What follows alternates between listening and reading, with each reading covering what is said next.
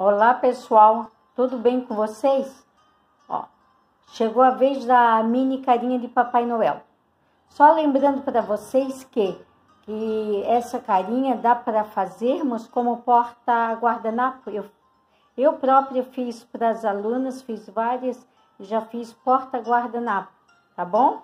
Então, tem essa outra opção. Vamos, eu vou dar uma breve explicaçãozinha nelas. A da esquerda, lá com o olhinho colado, eu fiz. Colei o olhinho e as pecinhas são todas coladas. E o que foi, foi só caseado em volta. Eu vou aproximar para vocês verem bem, ó. Que lindinha ficou. Quero só esclarecer, ou melhor, falar para vocês uma, uma coisinha. Dá para ver aqui, ó. Estão vendo uma sombra na carinha em cima do nariz? É blush tá bom? Eu coloquei blush da maquiagem da gente.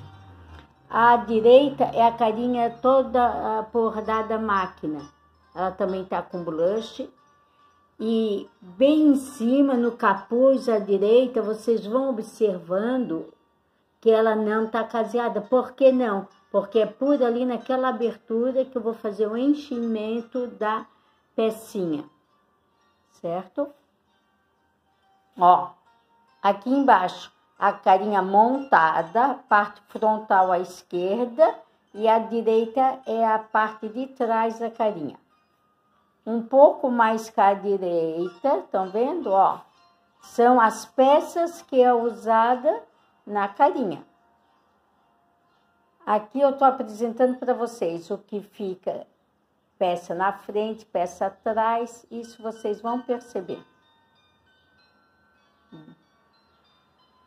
Certo? Então,